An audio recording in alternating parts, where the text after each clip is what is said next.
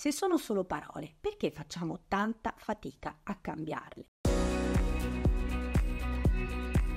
Cosa c'è dietro a resistenze tipo, ah dai, saranno mica questi i problemi? A me all'elementare hanno insegnato così, perché devo ora cambiare tutto? E poi quella cosa lì, dai, proprio non si può sentire. Per capire meglio cosa c'è dietro a queste resistenze, è stato condotto uno studio dall'Università Cattolica di Milano e sulla base delle evidenze emerse abbiamo creato Words.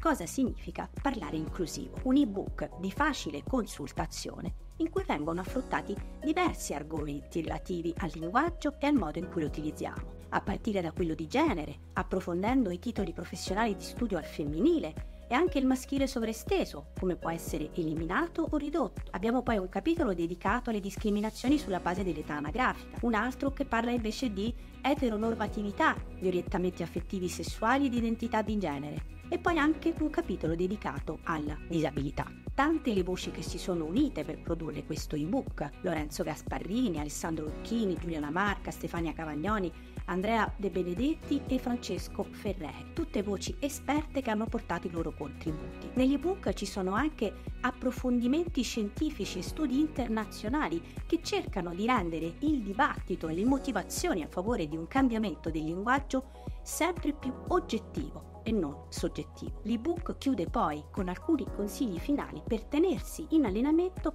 e anche gestire eventuali errori che non sono mai un gran problema. Il vero problema è resistere ad un cambiamento che è già in atto.